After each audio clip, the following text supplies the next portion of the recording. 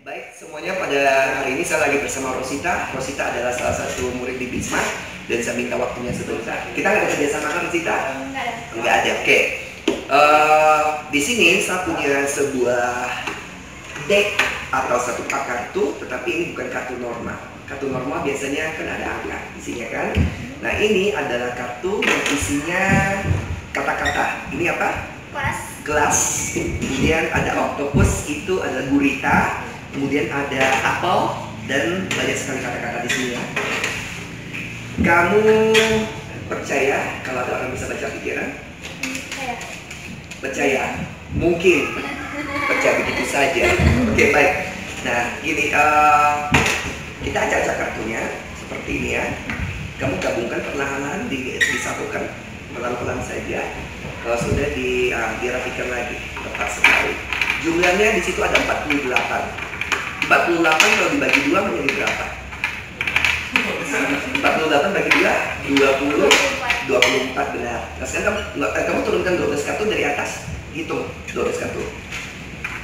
4, 5, 6, 7, 8, 9, 10, 11, 12 Stop sini lagi 12 kartu lagi sampai habis ya 4, 5, 6, 7, 8, 9, 10, 11, 12 Stop Oke terus Sampai habis. Baik Nah sekarang dia sudah mengacak kartu. Kemudian dia sekarang menyus, me- menyusunnya dalam jumlah 12 Per kelompok. 12 kartu. Tepat semua? Oke nah sekarang saya akan kenal kamu. Kamu lihat saya. Kamu pilih satu yang mana pun. Yang mana pun yang kamu tunjuk itu yang dipakai yang mana? Yang itu. Ya? Mau tukar?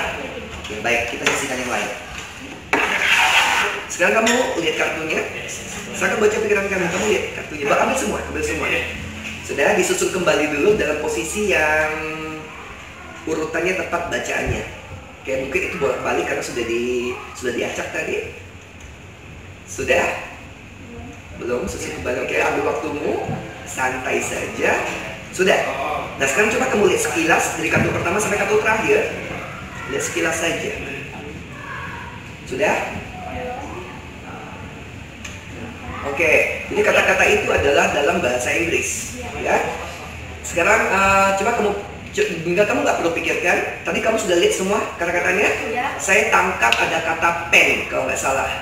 Keluarkan pen kalau ada. Sudah? Ada pen dikeluarkan pennya? Keluarkan pennya oke baik. Letak seperti ini. Letakkan di depan kamu ya. Yang selanjutnya ada ada eh, ada house kalau ada house turun tiga di tumpukan yang sama ada Ada. Oke baik. Dan kemudian eh, ada ada octopus. Ada. Oke terus turunkan. Oke baik. Kemudian ada ada train diturunkan. Ada. Ini ada. Kemudian ada ada oxygen turunkan. Oke. Ada, oke. Sekarang kamu lihat-lihat lagi, lihat-lihat lagi. Oke, disusun dalam urutan yang sama, baik? Sudah? Sudah. Oke. Kemudian ada ada gelas dalam pikiran kamu. Ada gelas benar? Ada. Turunkan. Oke, eh, nggak salah. Ketika kamu membacanya tadi ada sesuatu yang terlintas adalah rose juga. Ada. Oke, turunkan. Rose. Kemudian ada ah, ada sesuatu yang segar. Ada buah apel. Ya. Apel turunkan. Hmm. Oke. Kemudian oh, ada paper. Ada. Oke, turunkan sudah dua kartu ya. Tiga. Tiga. Oke. Terus eh, ada ada hero. Ada. Oke.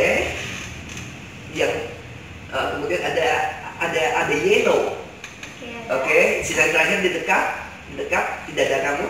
Oke, baik. Nah sekarang ini, eh yang terakhir, kamu katakan iya atau tidak? Saya, saya coba membacanya langsung sekarang. Itu ada television? Iya atau bukan? Bukan. Air conditioner? Bukan. Baik. Eh, kamera bisa agak mendekat? Kamera agak mendekat. Nah, tadi kamu kan sudah acak-acak kartu kan?